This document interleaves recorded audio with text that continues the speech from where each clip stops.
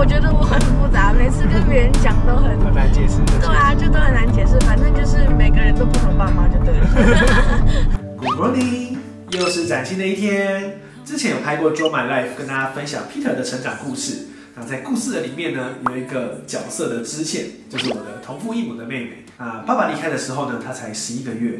啊咻一下，时间很快，爸爸也离开了十八年、十九年左右，妹妹也从一个 baby，然后到一个成年的女孩。那刚好呢，这一次呢，邀请她陪我一起去美国拍《星宇的首航》。那在路上呢。爸爸实现了我的愿望。我其实，在上课的时候啊，就会有那个做白日梦的画面，想象着如果有一天开着跑车啊，然后载着他出去兜风，然后他中充满那个想象的画面。没想到真的有一天可以实现，因为长大之后才发现，哎，其实不用买车，租车也可以。所以刚好这一次呢，真的成功开着跑车载着妹妹。那在路上呢，也跟她聊了很多。所以今天想要跟大家分享一下关于我妹妹 Angel 她的成长的故事。加州的阳光，我们刚刚下飞机，就在塔台的下面。这次带妹妹来加州，爸爸租了一台敞篷车，B N W 的四三零 i。爸爸又要实现愿望了，就是一直在脑袋里面幻想有一天可以开着敞篷车载着妹妹出去玩，没想到居然是在加州实现了。那这次呢也是在 Turo 租车，这台车的话一天大概是四千多块，跟台湾比起来的话还是便宜很多。先放东西，这一次没有带小孩。哦，超小的，超迷你的，这个可能连我的七寸都放不下。来。后面塞得下一个大的跟一个小的，发现它刚才这个它是可以往上升的，它把它弄起来就可以。好了，我们要出发了。哦，没开过这种车哎。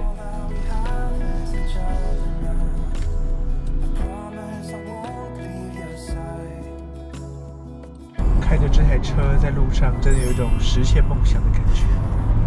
你知道我小时候就一直幻想着，如果有机会的话，我就一直想象。可是我想象中的你不是长这样，就是我觉得开比较高一点。我觉得人生很有趣，就是可能你一直心里面想要做的事情，或者你有一个梦想，好像真的有机会有一天会实现。吸引力法则。哦，对。我爸跟你妈住在泸州的时候，然后你刚出生，他们就出门买东西了，然后你就自己一个人在家里。我自己就是他，他请我帮你看你一下，然后那时候我才六年级吧，就我真的完全不知道怎么过年，然后他们才刚出门就哭了，然后我真不知道怎么办，然后就哭了四十几分钟，我要疯了。那你在旁边怎么办？我就不知道怎么办，就听我哭。对我，我有不敢抱，感觉很像是一个可怕的生物，连碰都不敢碰。小孩哭很可怕。你现在知道？对啊。Angel 对爸爸有什么印象吗？没有。完全没有，完全没有。你那时候才快一岁，应该那时候快一岁，绝对不可能有印象。我最小最小的印象就是从幼稚园开始啊，才有印象。对啊，那时候的印象是什么？我只记得那时候我在大陆哎，好像住在外婆家吧。嗯。然后反正就是每天吃的超大碗公的饭。所以你幼稚园的时候有回大陆一阵子？好像是吧，我记得我在那边有读过幼稚园。但是印象也不是太深。嗯，所以你有印象的时候是，你已经知道爸爸不在了，还是妈妈又在结婚了？都不知道。我有印象的时候，已经是现在这个爸爸了。嗯，对，就是所以你没有印象说你没有爸爸的事情。对，嗯，我是长大以后才发现的。我会真正的确认是身份证上面的名字。啊，对对对。们其实也都没有跟我讲。可是每一年不是我们过年的时候，奶奶都会找你回来吃饭。对啊，但是奶奶也没有讲。哦，所以那时候你也不知道。对，我都不知道。就是为什么为什么爸爸不回来？啊、对，那就只都只有我一个人回去。然后你只是想说这个爸爸为什么没有跟你一起回家？啊，他为什么每次都送你去，然后他就走了？对，差不多之类的。可是他们也都没有特别跟你讲。对。可是身份证，你你看到身份证的时候已经很可以发身份证，我记得要十四岁。国中啊。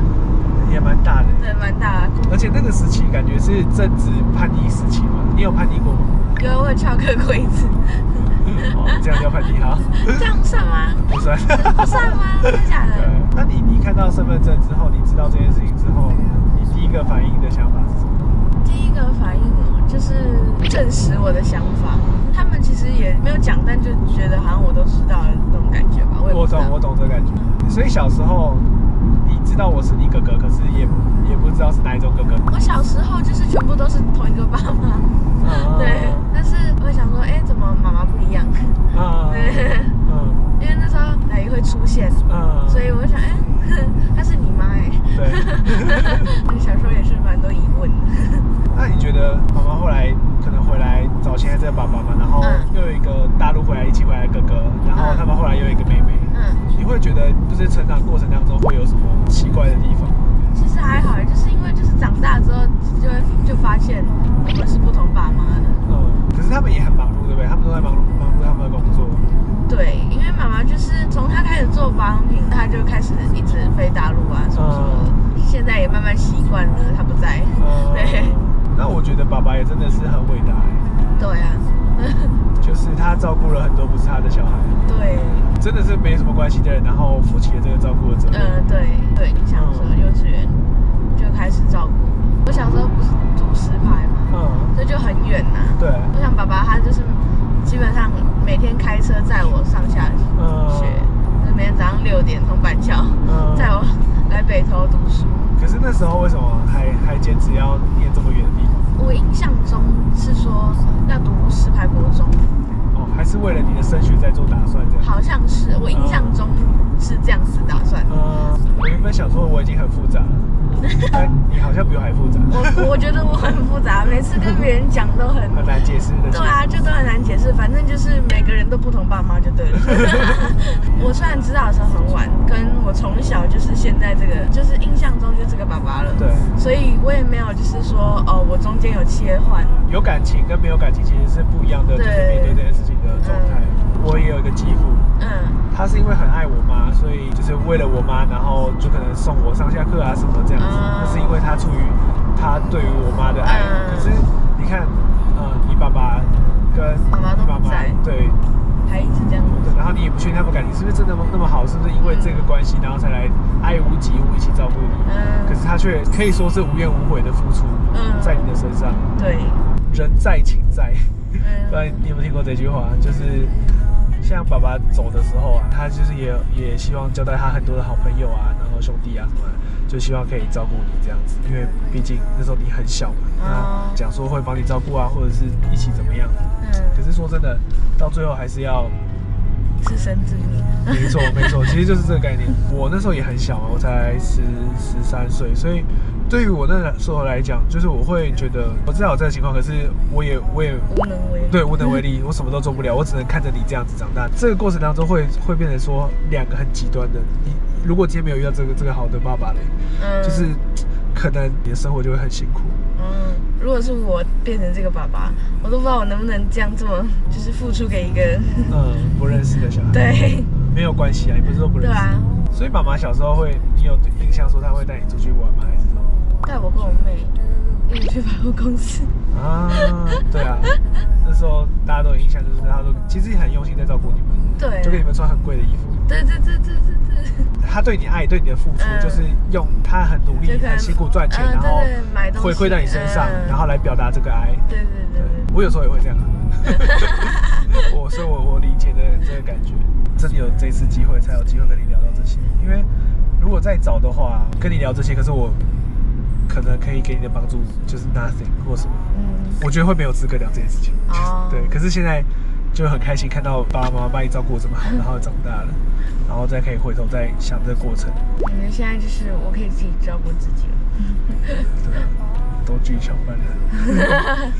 哇，我觉得有妹妹的感觉真的好棒。小时候真的比较没有什么时间是有办法相处啊，或者是我们只有一年一次见面，然后过年就吃饭。吃饭的时候，因为年纪差太多了，所以真的也不会有像这次这样子聊天。那通过这次的旅行，然后可以跟她聊这么多，然后还有她的成长故事，我觉得真的还蛮开心的。你会发现他是一个很懂事的人。我不知道跟他的成长过程有没有关系，但我觉得他爸爸把他教的很棒。有一个懂事的妹妹，有一个这么上进的妹妹，真的很感动。你就想要再多对她好一点点那种感觉，可是又希望她她可以在现在刚出社会啊，然后面对到不一样的人，所以就是哇，有种做爸爸那种心情，你知道吗？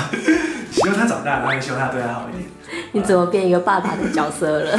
对，其实我这次出出门就是跟着他一起的时候，原本是宠妹气话，但是我拍着拍着越来越像一个爸爸的角色，因为毕竟可能我现在有小孩，然后年纪也有点刚成熟的年纪，所以他就是像我一个小女儿这样子。但真的很感动啊，就是看到妹妹为了生命，然后为了生活这么样的努力，所以是真的非常开心的。好了，那这就是今天跟大家分享妹妹的成长故事。这一趟美国旅程呢，我有拍很多支影片，会继续跟大家分享。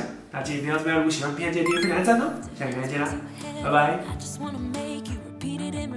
对，但我我的个性是，好像也有点赚多少花多少，所以真的什么都还要钱，所以我比较对自己比较好。啊，对，不知道想到什么。我自己会不行这样。代表你有一个省吃俭用的好精神。我我真的不行这样。